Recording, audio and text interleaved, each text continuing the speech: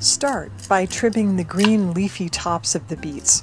You want to leave on about an inch of the stems though because this will help the beets hang onto their red pigment when they're cooked.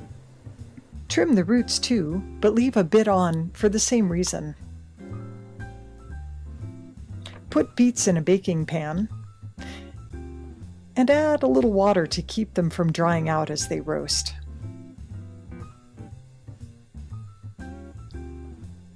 Cover tightly with foil to trap the steam.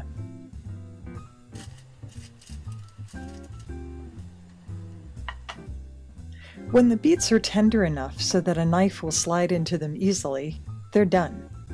Let them cool, then peel them by rubbing the skins off with a paper towel. The towel does two things. It gives you a grip on the slippery beet and helps keeps the juice from staining your fingers.